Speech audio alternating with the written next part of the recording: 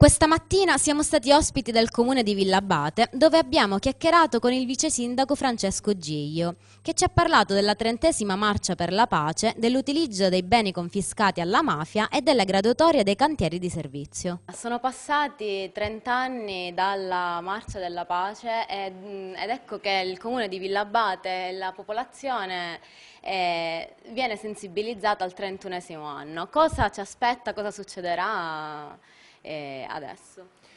Il comune di Villabate aderisce a questa manifestazione a distanza appunto di 31 anni e lo farà con una delegazione ufficiale. Saremo presenti con il nostro gonfalone, con eh, i nostri amministratori e saremo eh, lì per dire che Villabate è contro la mafia, senza tentennamenti ma con grande decisione. Questo vuole essere per noi un motivo di orgoglio, vuole essere non l'antimafia parolaia ma quella fatta di eh, azioni concrete. Siamo partiti dal basso cercando di recuperare la credibilità che il nostro comune eh, merita e lo abbiamo fatto coinvolgendo le scuole, le associazioni, le parrocchie, attraverso un intervento integrato che è Villabate Percorsi di Legalità. Ringrazio per questo la dottoressa Giuseppina Tesauro che per noi è un faro, è un prezioso aiuto che ci sta appunto guidando in un percorso di rinascita e di crescita e saremo a Bagheria e a Casteldaccia proprio per testimoniare che il nostro Paese vuole esserci con forza e con grande determinazione. Come si organizzerà eh, questa, questa marcia? Beh, la marcia avrà due momenti importanti.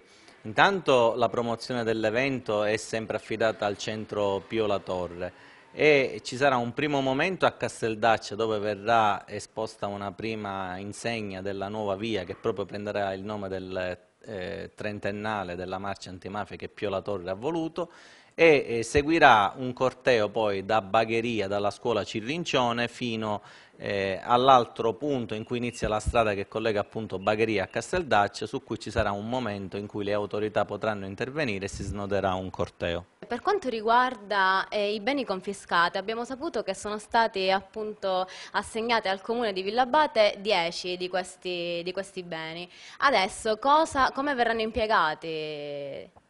Ma intanto consentitemi di dire che è stato molto emozionante partecipare a questa cerimonia presso l'Agenzia Nazionale per i Beni Confiscati alla Mafia, alla presenza del prefetto Caruso. È stato bello perché c'erano altri comuni come San Vitolo Capo, Mazzara del Vallo, c'era la stampa e in quell'occasione abbiamo avuto modo di dare una testimonianza di una nuova Villa Abate che appunto cerca il riscatto da tutto ciò che è stato il male che la mafia ha provocato. Si tratta di 10 civili abitazioni e il prefetto ci ha anche annunciato un prossimo, una prossima assegnazione che segue appunto una nostra manifestazione di interesse.